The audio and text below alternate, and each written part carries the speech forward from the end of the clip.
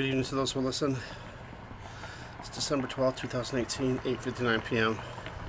I'm out of breath because I had to go downstairs to get my camera.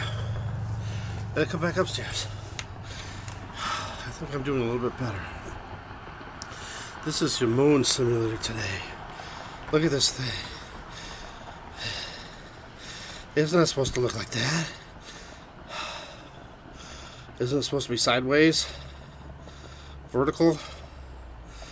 Not horizontal? This is not right. Oops. Sorry. And there's energy around it. It's way too low in the sky. Plus, it's...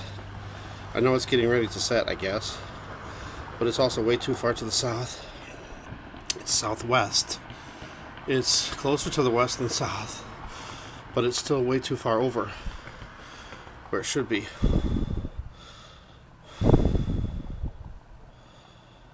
Whew, and I can't do this long because I'm running out of room, but I just had to show you this. What was that? Something appeared on top of it. Is that clouds? Let me look. Okay, there's some clouds. And possibly some trees involved too. But look at the shape. And look at the way it's facing. It's not supposed to be like that. It's not right. Thanks for watching. Thanks for subscribing. God bless.